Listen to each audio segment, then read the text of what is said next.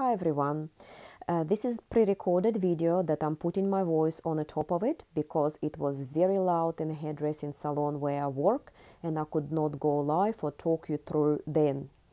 This is a dark purple gel polish which is applied in one coat so it's not a perfect coverage with non-tacky layer top coat on the top of it and cured so we have no tacky layer and because silly sausage me left my uh, makeup applicators at home I had no choice to use my finger but it is your preference and um, probably permission of your client uh, because you will use a minimal amount um, if you're using your finger and it does not affect the look of mirror pigment on ring finger here already pre-drawn on the top of top coat um, some spider web with paint gel that does not have a tacky layer when you cure it.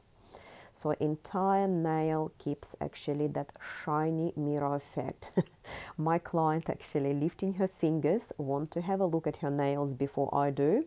And we both were left speechless how beautiful that is now I picked up a little bit more and you can actually see with a very little amount, look here, you can spread it even on two nails. With medium pressure, you just polish and buff it into your nail and it will be just fine as we're just finishing up here. And um, we're moving to the thumb. I found to brush excess of the pigment off, it's the best to use brush with very soft bristles because some of it can be removed if you use harsh dusting brush. I use my, uh, here we are, my old acrylic brush that's already fluffy uh, to dust certain things and silver pigment included. If you do leave loose particles of the pigment on the nail surface and top coated it will actually show those little like a dots. So this job have to be done properly and uh, leave no chances. So remove all loose particles from nail surface. My top coat that I finish up nail has a tacky layer. It's always recommended and its medium consistency. But my testing shown that if your top coat, just the, any brand you use, has a very thin consistency, quite runny, I would strongly recommend to double coat the nail for better wear. As I said, my consistency is medium and I did not double coat it as I already have clients coming back with perfect results.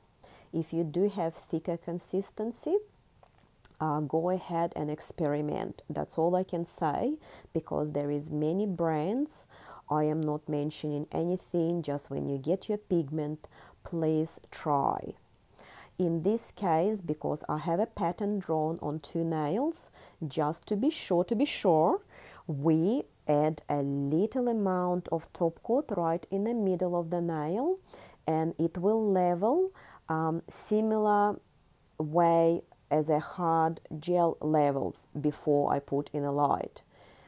So I put a little bit of extra, it levels within seconds and I will cure it 30 seconds in LED light, wipe tacky layer and voila, it's done. Thank you.